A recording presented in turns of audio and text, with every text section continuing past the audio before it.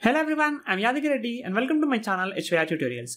In this video, I'll show you how you can enable or disable the test cases from TestNG XML file in TestNG. So generally in our TestNG project, we will have multiple TestNG XML files, right? So under the each TestNG XML file, again we will have multiple test cases. So the project structure will be looking something like this guys. So we have one TestNG project. Under the TestNG project, we have multiple TestNG XML files. So like this, TestNG XML file 1 and TestNG XML file 2 and TestNG XML file 3. So under each TestNG XML file, we have multiple test cases.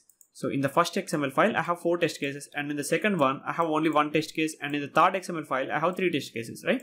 So like this, we will have multiple test cases inside the TestNG project. But sometimes I don't want to execute all of the test cases. I want to selectively execute some test cases, okay? So in which scenarios do you feel like that? So let me tell you one small example so that you will understand. So for suppose as part of our project testing, we have multiple releases going on, right? So we have release 1, we have release 2, we have release 3, like that we will have multiple releases. So under each release, you will have multiple sprints again, right? So if you are using the agile model, right, you will have multiple sprints under each release. So in each sprint, I don't want to execute all the test cases, guys. Okay. So under each sprint, I don't want to execute all the test cases. I want to selectively pick only few test cases. Okay. I want to do some test coverage analysis and based on the test coverage analysis, I want to select only few test cases and I want to execute them. That means the remaining things I'm not going to execute, right? So when I say I want to execute few test cases, that means I want to enable those test cases and the remaining things I want to disable them. Okay. So that is the reason we should know how to enable and disable the test cases inside the TestNG XML file guys. Okay. So let me open the Eclipse. So here I have already created some class files and one TestNG XML file also in my previous sessions guys. But let me give you some high level idea like what exactly I have created and what it is doing. Okay. So here I'm using one website called Orange HRM. So inside this website, once you open this URL, so inside this we have some credentials also displayed here only. So let me open, let me enter these credentials. So what exactly I'm doing here is I'm creating two test cases with this Orange HRM website. So the first test is I want to open this application, this Orange HRM application. Then I want to enter the login credentials and click on login. And once the login is completed, I need to verify whether the login is successful or not. Okay. So how do I verify that? So I'm going to verify whether this welcome message is displayed or not. So based on this welcome message, I'm going to verify whether the login is successful or not. So that is my first test case guys. Okay. And the second one is in the similar way, I'm going to open the application and I enter the login details. And once I click on the login, I will have this dashboard page, right? So from here, I'm going to click on the my information tab and I need to verify whether this my information tab is actually displayed or not. So this is the second test case I'm having. Okay. So let me show you. So here you can see the first test is actually Orange HRM login. And here we have multiple test methods actually. So the first test method is going, going to open the application and the second one is going to enter the login details and the third one is going to verify the login. And in the similar way, we have one more test that is Orange HRM My Info. So under that, first we are going to open the application, then we will enter the login details, then navigate to the application, I mean My Information tab and verify whether the My Information tab is displayed or not. So for these things, the test methods are inside this orange hrm.java. Okay. So here you can see the test method is there, right? So for entering the credentials, we have this test method. And for opening the application, we have this test method. So like this, I have the verification methods also here. Okay. And one more thing guys, we have added one before test method and also after test method. So in the before test method, I'm opening the browser and in the after test method, I'm going to quit the browser. And the next test is this test Google.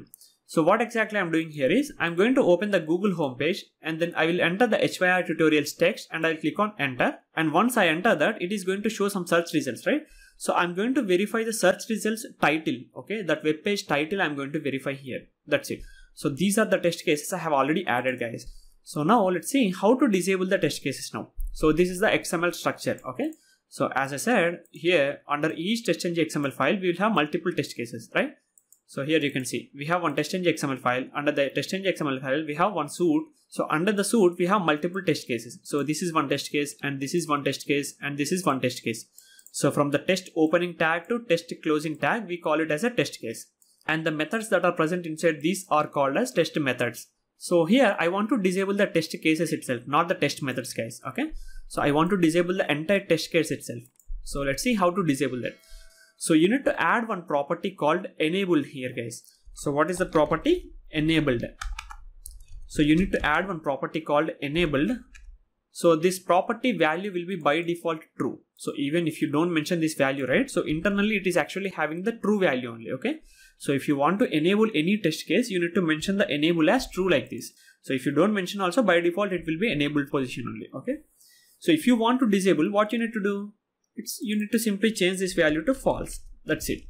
So for every test, whatever the test you want to disable, for every test you need to add this property. So the property value must be false guys, okay? Because this property is saying that it should be enabled or not. So that is why we need to provide the false, okay? The negative value we need to provide. So now I have disabled the first test case, right? So let me run this or I'll just disable the last test case itself. So that is test Google. So I'm going to disable the test Google test case and I'm going to execute only the orange HRM test cases. So let me run this. So now I have three test cases inside my test XML file, but I have disabled one test case here. That means only two test cases should be executed, right? So let's wait and see.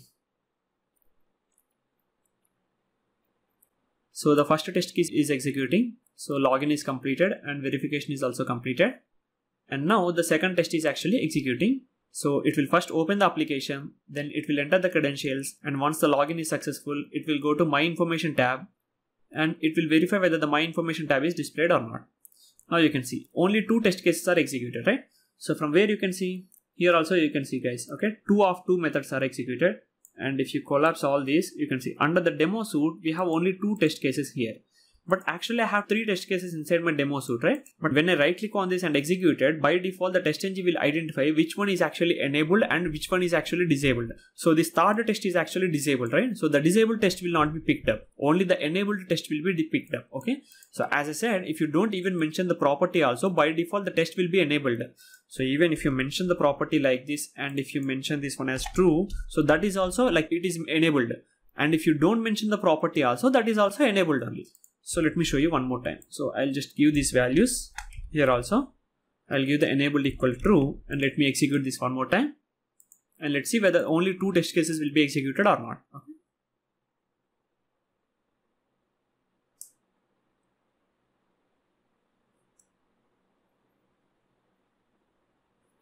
So the first test is executing.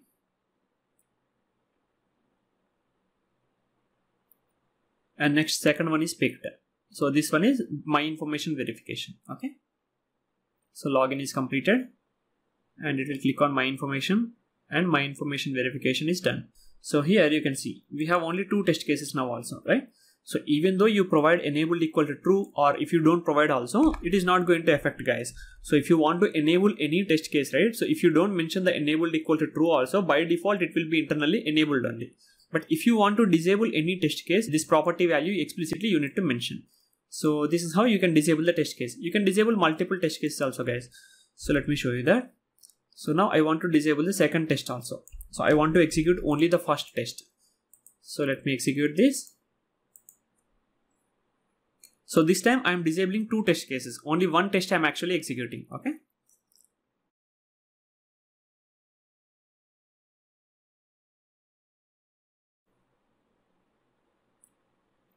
So the login test is completed and you can see the execution is completed. So now under the demo suite, we are getting only one test that is Orange HRM login, right? So even though we have three test cases, it is showing only one test. That is because the remaining two test cases are actually disabled.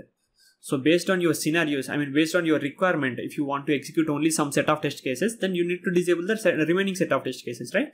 So instead of creating the again one more XML file and add whatever the test cases you want to execute, this way is better, right? So this is how you need to disable the test cases inside the testng XML file in testng guys. So that is for this video guys. I hope you enjoyed this video. If you like the video, please hit the like button and also share this video with your friends. So if you have any doubts or if you are facing any issues while writing these programs, please let me know in the comment section below. Thank you for watching. Bye bye.